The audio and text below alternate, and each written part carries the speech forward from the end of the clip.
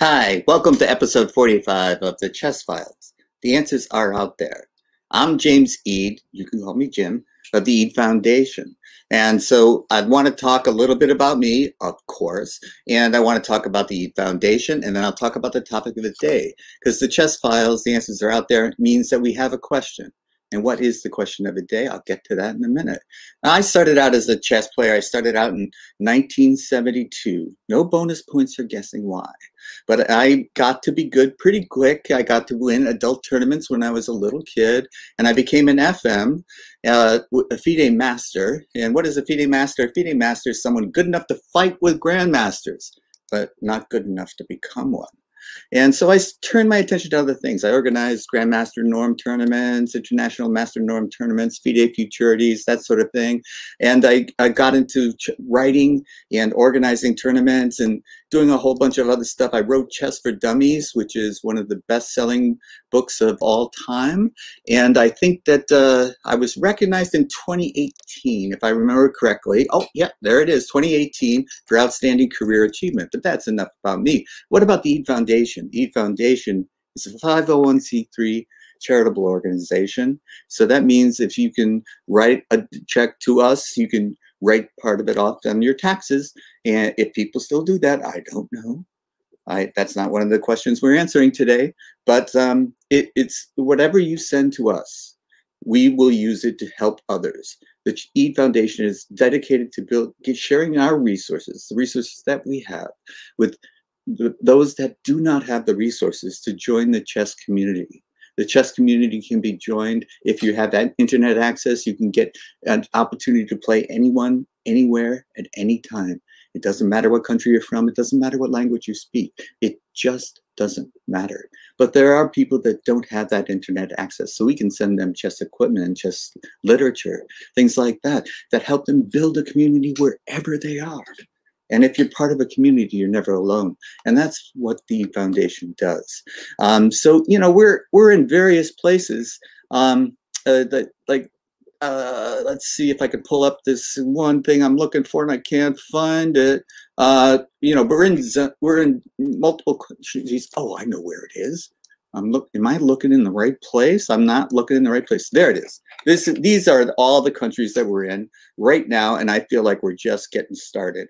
Um, and this is this is the most important thing I could tell you today is let you help us help them. These are the people that we want to help, and we can't do it without you. So we ask for your support. But today's chess files. The answers are out there. What's the question? The question is, what is the Kolty Conference? I was at the US Open this year and I saw this piece of literature. The third International Koltanowski Conference on Chess and Education. And I asked myself, what is that? So I, not knowing too much about it, asked for two guests to come on to, to tell me, what does that mean? And uh, I, you see on the, on the bottom of this, it says it's sponsored by the U.S. Chess Trust. So I wanted to talk a little bit about the U.S. Chess Trust. Who are they sponsoring this? It's pretty interesting. So I asked Al Lawrence, who's the manager of the Chess Trust, and Beatriz Marinello, Beatriz, Beatriz, Beatriz um, sorry to put your name, but um, you're on the trust as well but you were both integral parts of starting up this conference. And can you tell me? I'll, I'll start with you, Beatriz. Uh, what what was your role in organizing this conference? It's the third one. Well, I was a member. I was a member. Thank you for inviting me, Jim, oh. and thank you everybody for listening to this program. Um, well, basically, the Koltanowski, and I would like to go a little bit back. I'm not directly answering your question uh, Jim. The Koltanowski Conference was uh, created by Dr. Tim Redman, who was um, who also founded the the UT Dallas chess program, and he was a professor there, and he was a good friend of uh, Grandmaster George Koltanowski, who at some point was a president of the U.S. Chess and became well known for his role in promoting chess around the country playing blindfold chess, uh, popularizing Swiss tournaments. It was uh, Barry who contribute, contributed, you know, to the chess community. And in his honor, um, Tim Redman started the conference in 2001. Then he hosted the conference in 2011, again in Dallas, in conjunction with a chess tournament, the National Grade Championship K, K through 12. And this year, 2021, because it happens every 10 years, we're supposed to organize the conference. And, um, and the US Chess Trust is the sponsor of the event, the main sponsor of the event. This, this year actually was the only sponsor of the event.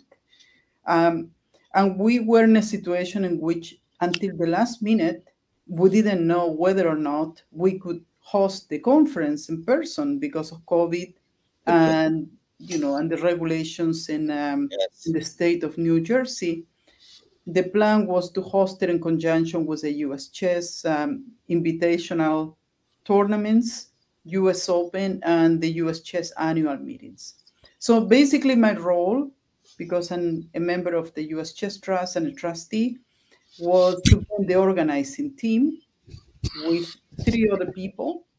Um, my main motivation, besides that an, an educator and obviously my passion is teaching chess, it was to honor this great man uh, who did a lot for chess, Koltanowski, uh, to also, you know, give a tribute to um, to Dr. Redman, who has done so much for chess. Shout out to Tim. Yeah, and then um, and support my dear friend uh, Leroy Dubek, who was also one of the sponsors, and he wanted to do this conference. So I was in the organizing team together with uh, Dr. Leroy Dubek, Al Lawrence, who's the managing director of the U.S. Chess Trust, former executive director of the US Chess Federation, and many more things. I mean, it's hard to even describe him and with two titles. And the fourth person was Dora Martinez, our technical person who did a lot to support us as well. Oh, great. So, Al, you got teed up there. Good introduction.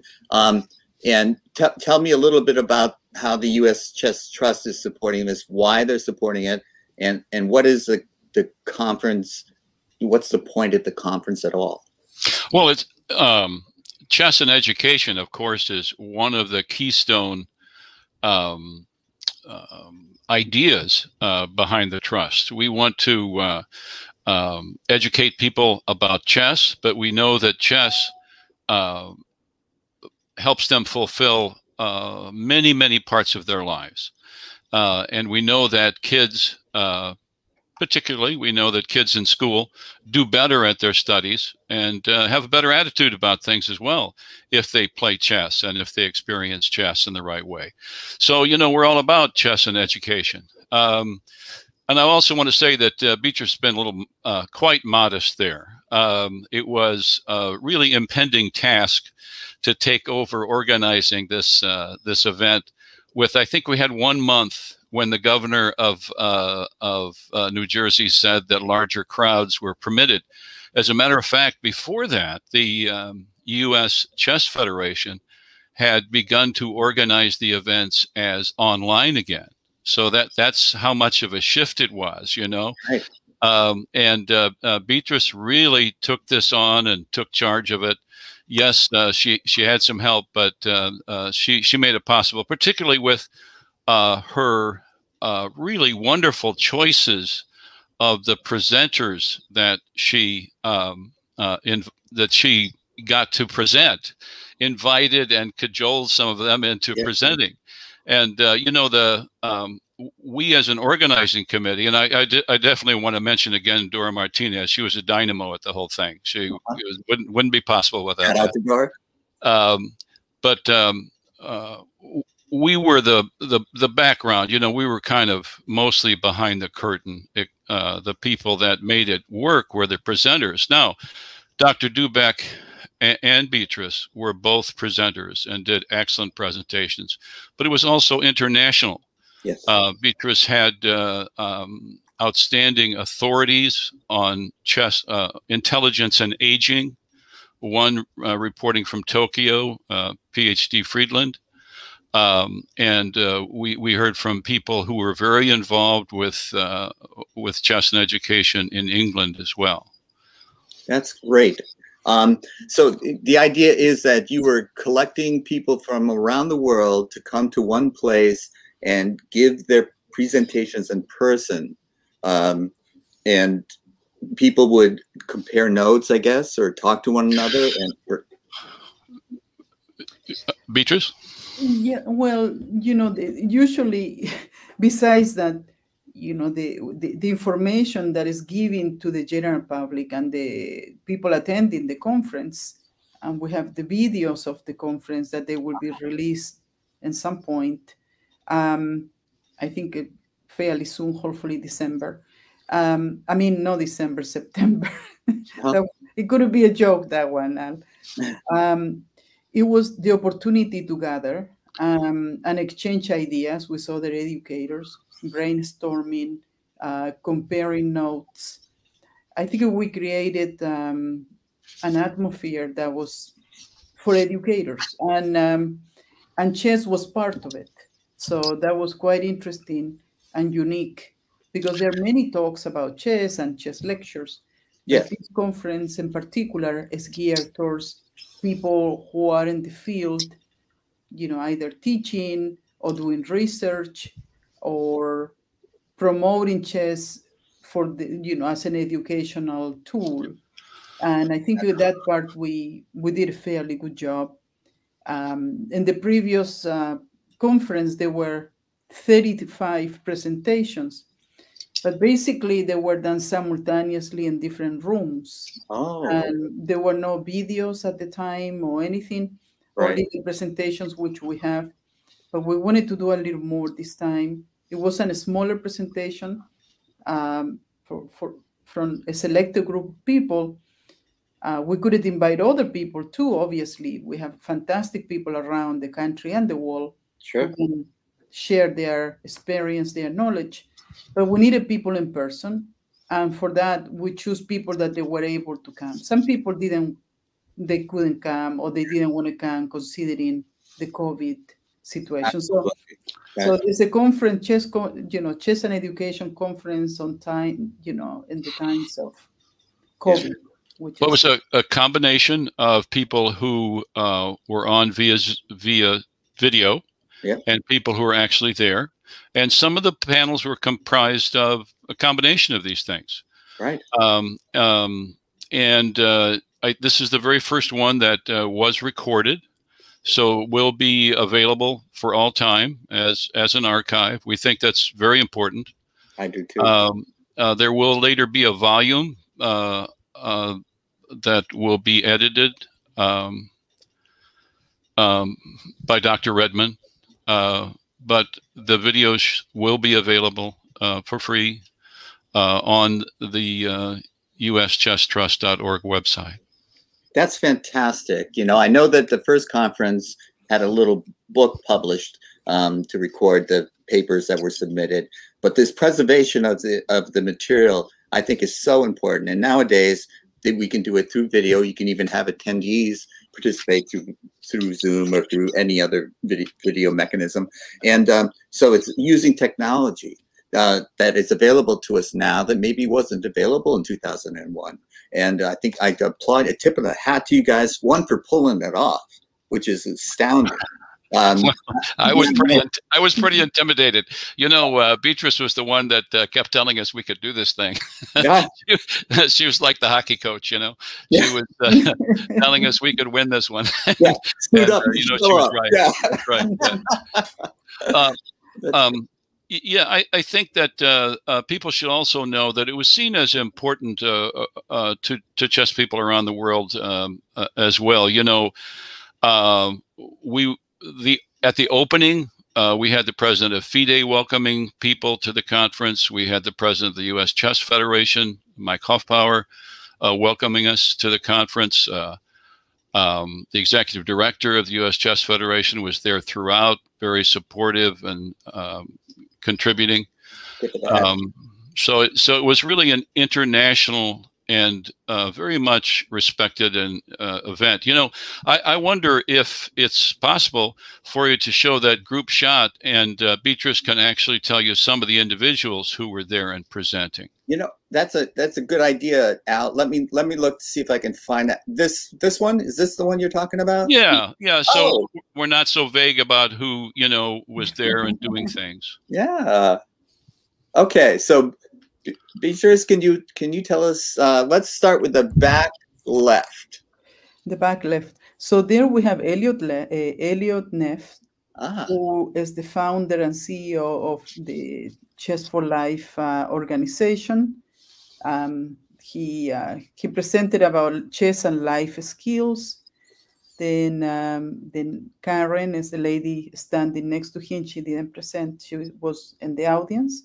Uh-huh. Then we have Joshua Anderson, Anderson mm-hmm. who's actually who's in charge of the oral history project. Ah. And he wanted to be there, so he was there throughout the whole event. Also, the president of the Chess Journalists of America. Exactly, and he's yeah. also the president of the Chess Journals of America, and yeah. it was very nice that he was there yeah. in person. Then uh, we have um, Carol Myers, executive director of the U.S. Chess Federation, who attended the conference. Uh-huh. Uh, John Rockefeller V, who made a presentation about chess and philanthropy. The first day we had it was a two days event. A wonderful presentation, and he obviously has done a lot for American chess. Yes. And recently made a donation of three million dollars to to U.S. chess for the invita- invitational championship. So that's somebody who's extremely committed to make a difference in chess. Yeah. And is he as tall as he looks in, in, in the photo? Yes, indeed. Okay. In the picture. but, but, I, but, I'm not as short as I look in the photo. There you go. and now, right him, somebody who's here with us, yeah. very humble, Al Lawrence, managing director of the U.S. Chess Trust, yeah. Uh, who was also the the MC for the event, the master of ceremony Oh, cool. And he made presentations. He gathered everybody. He put everybody together. He did a fantastic job. You know, I've seen. I have to say it, Alan. Sorry. I'm doing. I've seen him do that before, and he, he is really good at it. Fantastic. So, yeah, okay. very very good at it, and um, so that also contribute greatly to the success of the event. When you have nice people around and everybody feels comfortable, absolutely, you get the best out of them. Then uh, a dear friend of mine, it's called David MacEnulty. Oh yes, they made a movie about his life. Great guy, yeah. Then, great guy. The Knights of the South Bronx. He was the director of the Dalton Chess Program. Before that, he was in C uh, in in, um, in a school in the Bronx. Yes. CS70, I think it was.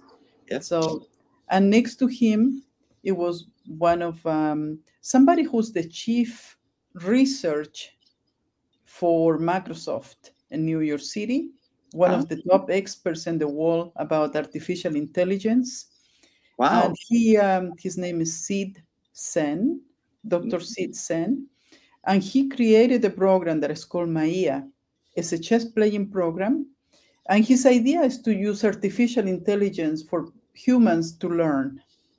And he's testing his ideas by using chess. Can can so, I can I put in a word about that? Uh, what I thought was the uh, fascinating part of his presentation was he creates programs uh, that clone a player's style and talent and knowledge. Oh, that's so funny. So, that, so he takes takes if they if they take a thousand games of someone, um, um, they they sort of create the uh, AI version of that player. Now you could do that with the GMs and the World Championships where we have enough games. Yeah. Um, and and you think of it as it gets better and better, if you could actually be uh, playing Botvinnik, you know. Yeah. As, as an amateur, so he, I think he's really onto something there. I didn't mean to interrupt, B, but I thought that no, was. No, but I thought you were going to say something about West Side Story. That's, yeah, that's him and I. We did a presentation about how we learn, because yeah. in my view, I mean, actually yesterday I had a meeting with the head of the school, and the, the idea. I mean, I think after considering what is going on during COVID, the pandemic, uh, is teaching us that it's not all about winning because you see that now most a lot of competitions are not most most com- chess competitions they are being done online and there are situations of fair play or you know people learning but also using it in a way that they su- they shouldn't be using it. Oh, so the word winning has a different meaning. Um, so i think uh, the idea that we use chess as an educational tool but mostly to teach critical thinking and how to think. Yes. Yes. and then transfer that you know process to learning other things. And dr sen has a similar idea that he believes the artificial intelligence should not be trained to dominate the world for the world domination artificial intelligence should be used for humans to learn things that they, they have been difficult for us to learn and there are some things that artificial wow. intelligence is doing better than humans, but others that humans were doing better than than uh, than artificial intelligence. Um, so he's uh, he's a remarkable person. He's one of my parents, and I, I was so happy when he decided to come. So we did a Yeah. we didn't have more room for presentation, so I changed my previous idea for a presentation, and we put one together that I think worked well. And I was delighted to see him there because I'm so he had proud. so many interesting ideas. Al, I thought when you jumped in, you you were going to go on, off of the naming it Maria and do a little riff on West Side Story, but uh, that sounds more interesting. Well, I, I'd have to get paid then. yeah. okay, Beatriz, who's next? um, and I love West Side Story too, by the way. um, and then in the left, sitting down, uh, there is um, chess expert Adia Onyango, who's also I don't know if he's she's cur- currently, but she used to be the um, the chair of the U.S. Women Committee, hmm and she made a presentation about women in chess with Kim Do McVeigh, who's sitting on the other side next to, but I will introduce her later. So that's Adia Onyango. Then is yours truly sitting next to her. Okay. Then Sophia Rohde, So who's the director of the Columbia Grammar Chess Program, uh-huh. and she spoke about, you know, adapting to teaching chess, you know, during pandemic times. And um, she also invited a group from England to join her. oh, she's from England originally, right? That, that's right. yes, And, she had connections. That's great. and good. John MacArthur, who's also teaching uh, chess at Columbia Grammar. So they made it three. It was a three ways presentation. Wow. Okay, cool. Then Kimberly McVeigh, who's a huge supporter of chess and, and women in chess. Yes. So it was wonderful that she came and she basically she joined uh, forces with Adia in her presentation.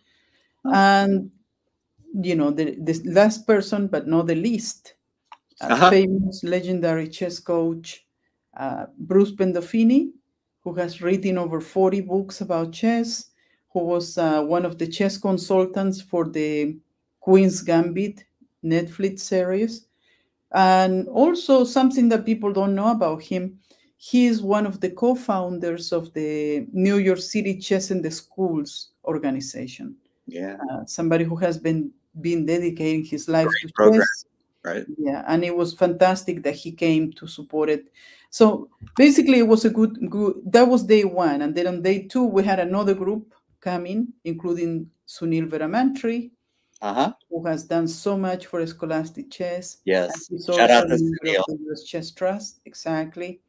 So we had a second group coming on um, on the sec- on the, uh, on Friday. Um, Du- Dewain Barber, the dean of Scholastic Chess, also made a brief presentation about the invitational tournaments. So it was a wonderful group of people. And I and I just want to mention again the people who aren't in the picture because they were in other countries.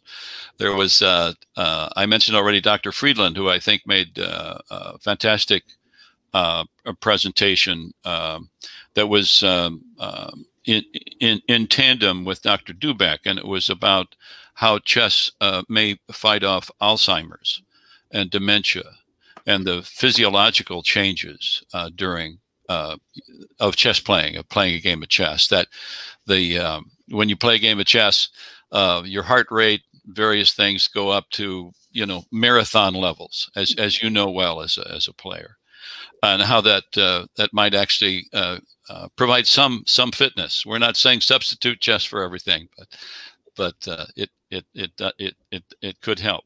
Uh, and then um, also, you know, we had um, a, a, very and Beatriz made this uh, particular section so uh, so uh, informative because he's such a great interviewer. We we had the uh, FIDE managing director and deputy chair, um, who is really uh, the woman in charge of uh, education in FIDE. I think, right, Beatriz? No, actually, she's the CEO of FIDE now, executive oh, wow. director. She's really? the deputy president of the management board of FIDE, woman grandmaster, and she's also a former president, I mean, former minister of finances of the Republic of Latvia. Right. Her name is Dana. I will tell you in a second. And uh, forgive me, Dana, if you're working this and I'm spelling your name incorrectly because I think it's Ozola, the last one of your last names. Um, so then, uh, very, I think I had a, I have a very good feeling about her and what she can bring to FIDE.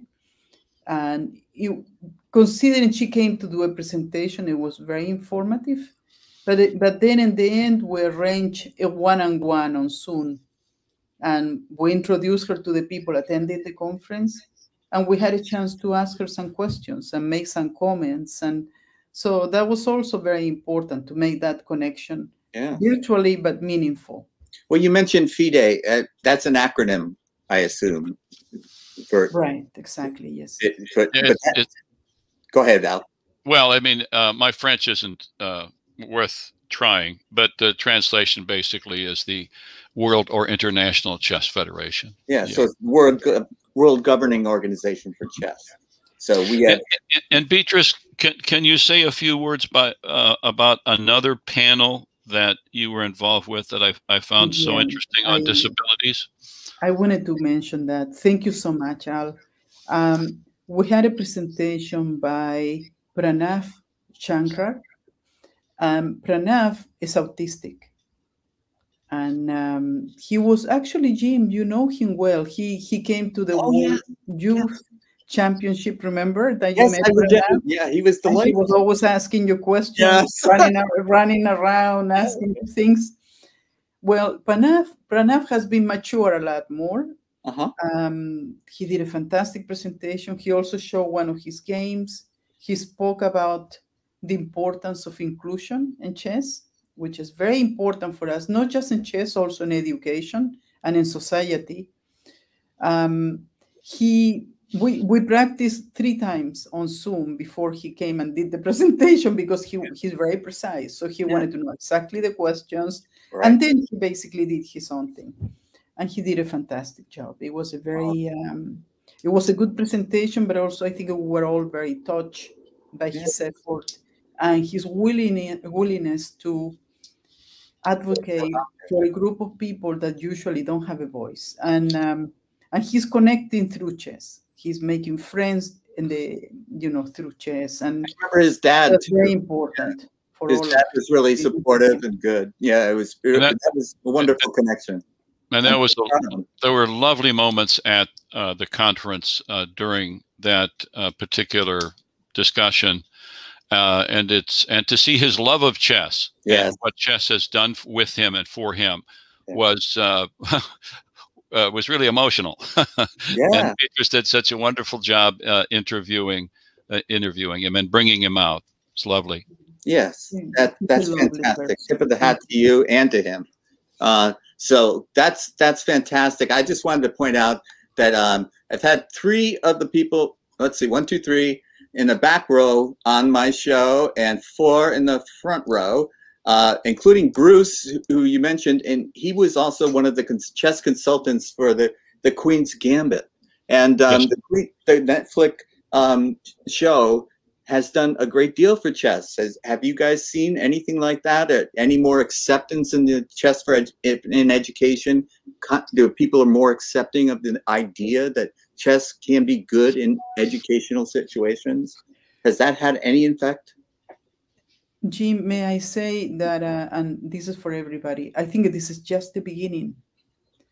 Chess has a lot of, I mean, the, in the previous conference, you know, when um, Tim Redman wrote the introduction of the book, they made a book about the first, first conference. Basically, in the introduction, he said, there is no proof that chess can directly affect any particular subject in education, but it may help with life skills. That was his conclusion in 2001. 2021, chess has been diversified. Uh, now we had a presentation about using chess as a way, as a brain fitness for this, you know, no prevention because it's no. very hard to prevent Alzheimer's. I mean, it's a pathology to yes. slow down the, the developing. And we have Dr. Freiland, who's actually a, a, neurologist and a researcher for the University of Kentucky. And currently he's doing uh, research in Japan about, you know, the, the guts and the bacteria and the gut and the, you know, and right. basically the influence. They believe now that we have two brains actually one is in our head, the other one is in our stomach, in our gut. My, my, the one in my stomach is bigger than the one in my head. Oh, okay, mine too. because there's so much room there. Yes, there's much more room. More capacity, yes. but my point is, you know, back then we didn't know about these things, so it was important to begin with that. Um, another area that we didn't have a chance to touch, I wrote an email to Dr. Howard Gardner, who created the the theory of multiple intelligence, which was he was the person who opened the door for chess in the schools in a way, in a more traditional way. Uh, he answered and he recommended somebody, but he couldn't come.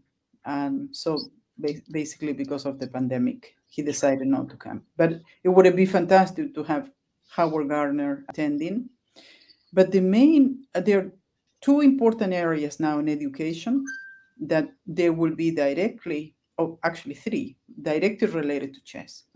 One is chess to help us improve critical thinking. Yes. Because we need to be able to start distinguishing what is real and what is what is not.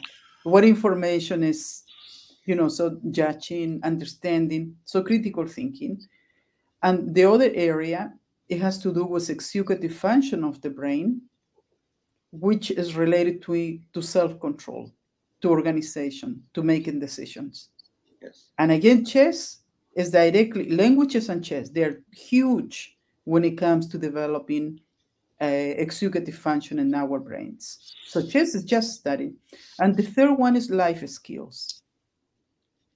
I mean, and you can say fitness. I mean, I think this is just the beginning.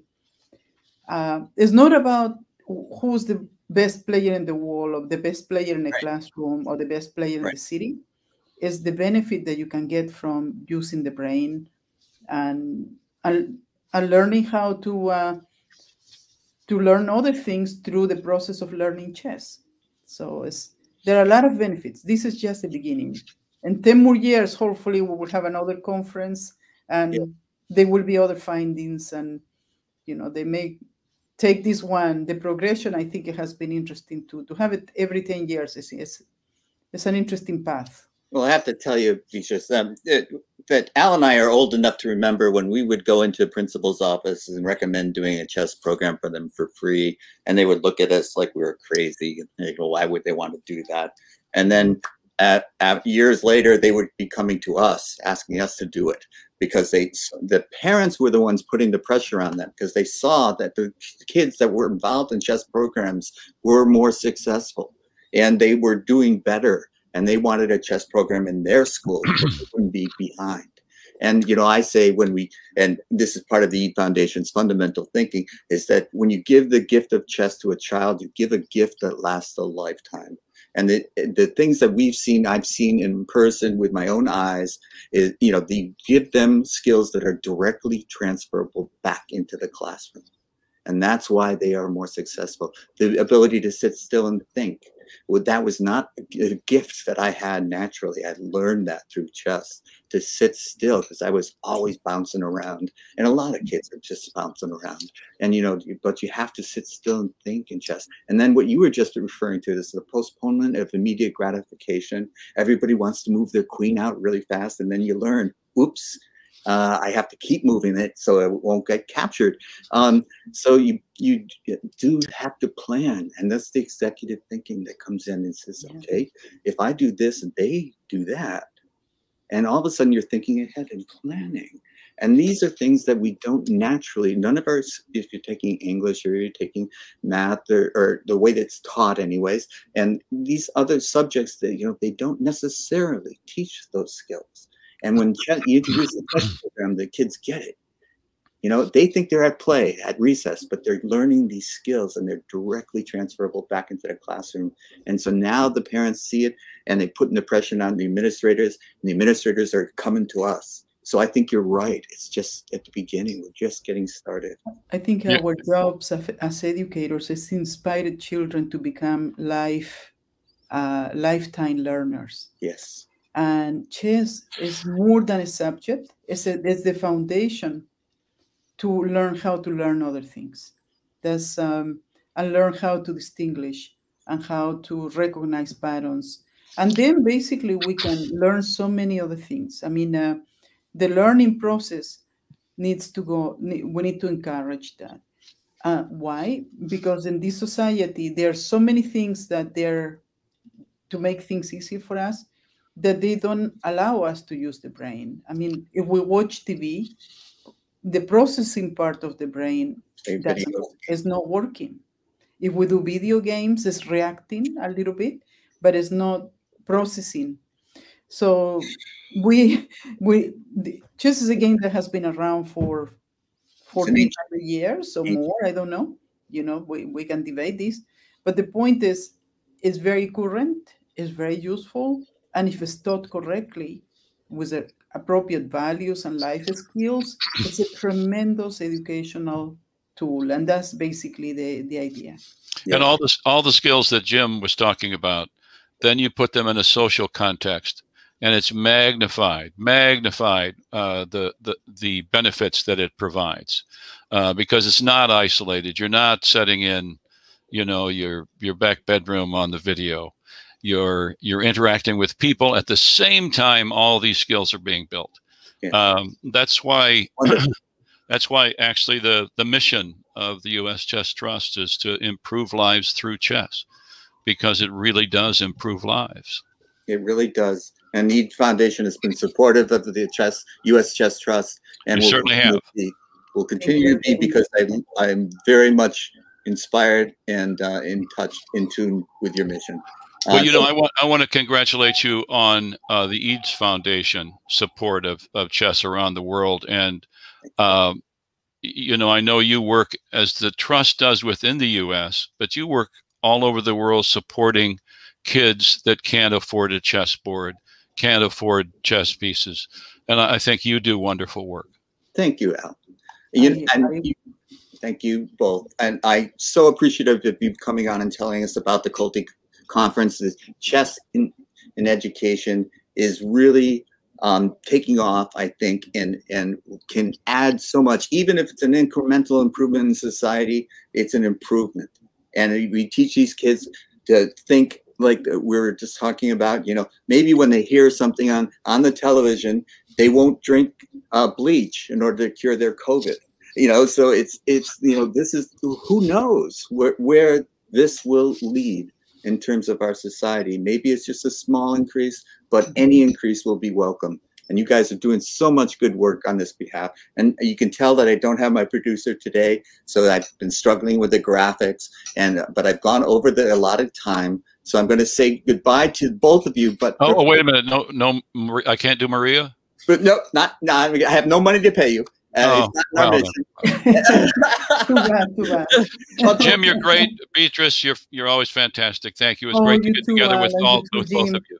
A Thank pleasure you. to, to see you. Thank you so much I for the ask, invitation and everything that you do through you. your foundation to support people around the world You I always want to give my guests an opportunity. To, is there something I forgot to ask you that you really would have liked me to ask you? Is there something you want to say before I let you go? Beatriz, anything? I think we've done a. He's. Well, we wanted to thank you, uh, and also I think it's very important that each of us we take the time to talk to other people about this, to inspire other people, to spread the love for chess and the benefits of learning chess, and how you know how beneficial chess is not just for children, also for people of our ages, especially seniors these days, that they need something that will keep their brains active. So uh, thank you, Jim, and, for the invitation. And, and I would just like to add. Mm, yeah. I'm sorry, and I would just like to add uh, www.uschesstrust.org. Yeah, I should have scrolled that banner across. Uh, no, that's good. To, to, top up the seniors, you know, we do do programs for juniors, scholastics, and and seniors. And this is me bringing the, uh, and I think it says Chess Trust on that the side of that. I can't see it, but uh, yeah, but uh, it was it was um, opening uh, just getting a chess program started in senior centers, I think, is a great mission too. Absolutely, it's one of yes. our missions. Yes. Okay. So thanks both of you for for attending, you, and I'll just do my little wrap up, and I will undoubtedly talk to you both uh, some other time. Okay. All right. So that was Al Lawrence and Beatriz Marinello talking about the third annual International Kolty conference. It's every 10 years, but man, it's worth the wait. Sounds like they're doing a great job. And I just wanted to tell you a little bit about the foundation. It's every Friday at 1 p.m. We do the chess files. The answers are out there. And the question will vary, the guests will vary, but the idea is that we have answers and we want to be open to what the we have questions and we want to be open to what the answers are. And if you help the Foundation do it, perform its mission, you are helping us to help others. And I think that is what I want to leave you thinking about today. How do you help others? And how do you help others help others? And who knows where it will stop? So that's the Foundation's mission. And uh, thank you for joining us today. Uh, I hope you see me next week. And, uh, and goodbye and good.